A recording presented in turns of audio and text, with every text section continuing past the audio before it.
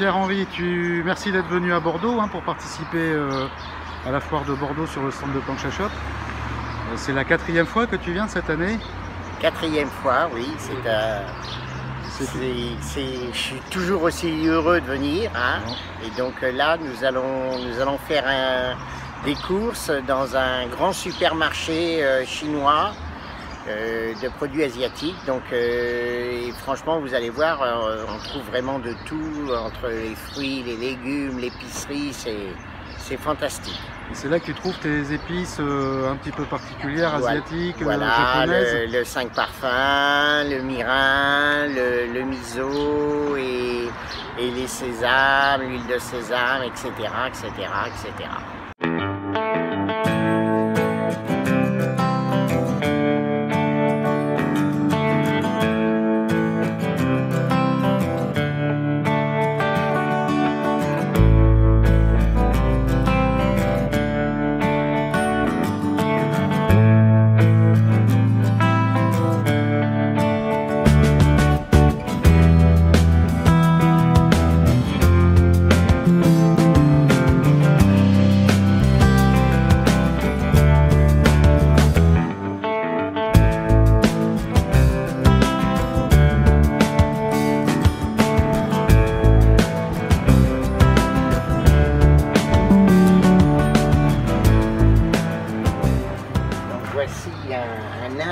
impressionnant euh, euh, rayon de sauce soja. Donc euh, il y a de la japonaise, il y a de la chinoise, il y a franchement, il y a vraiment du, choix, beaucoup de choix.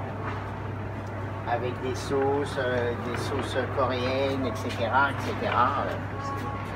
des currys, hein, on a des currys japonais,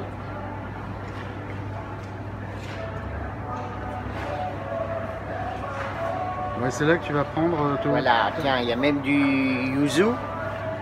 Ah oui, exact. Bon, il est un peu cher par contre.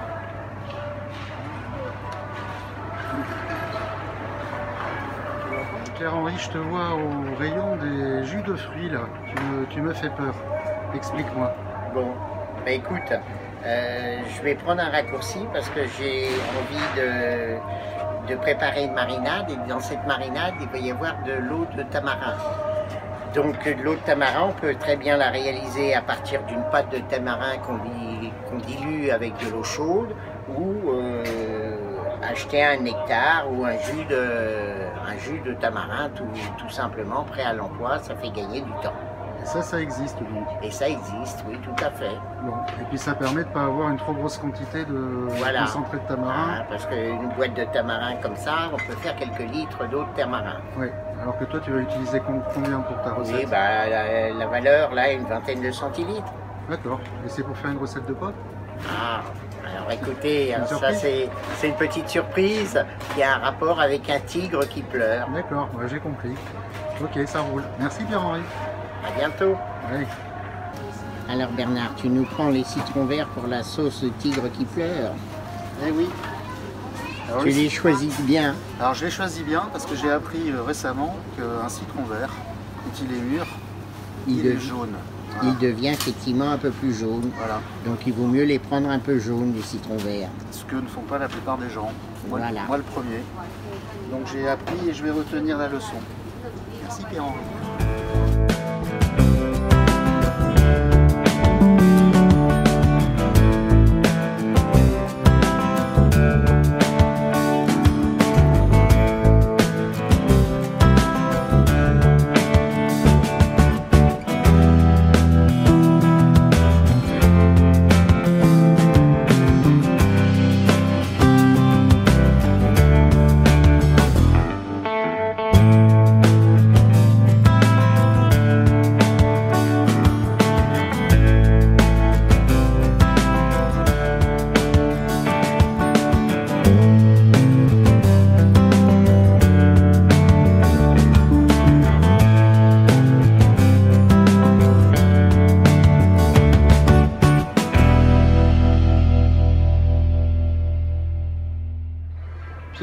toujours en direct sur le stand de Plancha Shop à la foire de Bordeaux.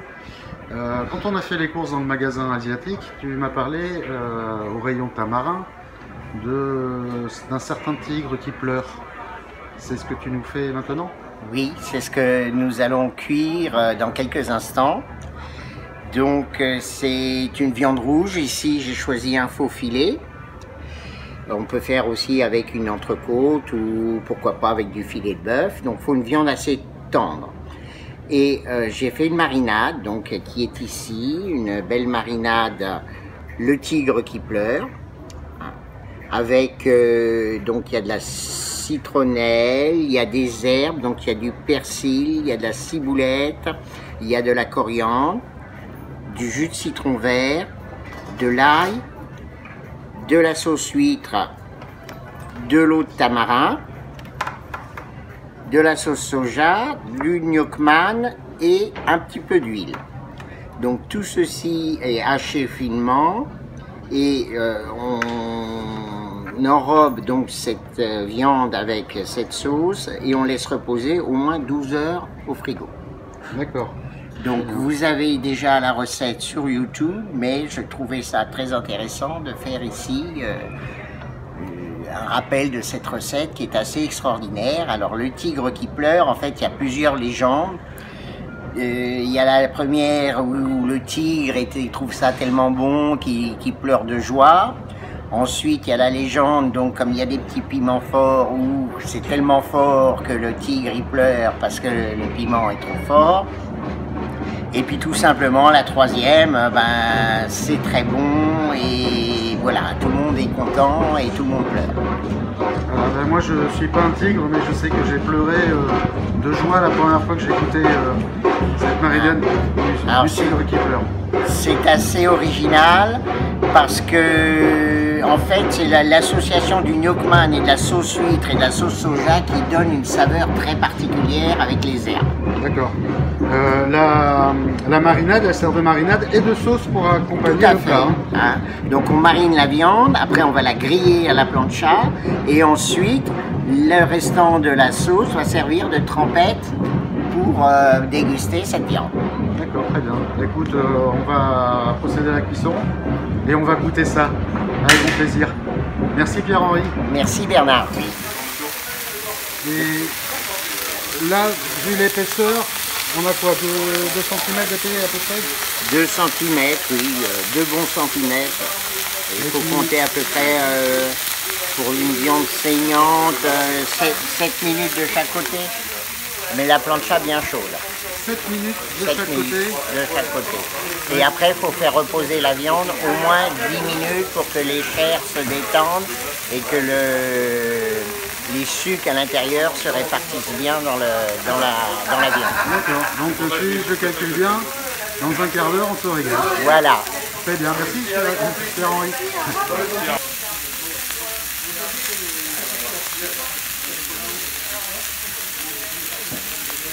La cuisson est terminée du faux filet. Oui. On va regarder ce que ça donne. Donc tu nous l'as découpé en... Oui, je l'ai découpé en... On appelle ça en lèche, hein, c'est-à-dire en, bâtonnet. Hein. Et donc j'ai fait une cuisson plutôt euh, entre bleu et saignant. Hein, mhm. Parce que tout le monde euh, ici aime la viande saignante. Et donc euh, pour déguster cette viande maintenant qui est cuite, on va pouvoir prendre un morceau et soit le tremper, soit prendre une petite cuillère de marinade et verser sur la viande et ça se déguste comme ça avec, euh, avec la sauce. Très bien, ça a l'air très appétissant. Moi, la, cuisson me convient parfaitement. Alors, il y a, y a, un petit détail quand même avec cette marinade, mhm. c'est l'umami. Alors, euh, c'est le cinquième goût, le, le, goût savoureux. Donc, ça a été découvert par un savant japonais euh, au début du, du XXe siècle, c'est-à-dire il y a plus, il y a plus d'un siècle. Mhm. Et, et c'est un goût qui est particulier, c'est-à-dire que c'est pas une combinaison ni du sucré, ni du salé, ni de la mer, ni de l'acide. C'est, c'est un goût, c'est le goût savoureux qui est souvent favorisé par des, des produits sapides comme le, mirin, le miso. Donc c'est euh, quelque chose qu'on retrouve dans la cuisine japonaise et qui en France, dans la cuisine française, on pourrait l'apparenter par exemple à un pot-au-feu. Un pot-au-feu, c'est un plat où l'umami est, est, important parce que le bouillon a cuit très longtemps et les protéines en fait de la viande sont, euh, comment dirais-je, sont passées dans le bouillon et c'est ça qui donne cette sapidité au bouillon, donc le goût umami. D'accord, très bien. Écoute, ça c'est intéressant. On va apprendre plein de choses avec toi. Euh, merci Pierre-Henri. On... Ben, on, va se mettre à table. Hein. Enfin à table, on va, on, va en profiter. Merci. À tout à l'heure pour d'autres gourmandises. Allez, bon appétit. Merci Pierre-Henri.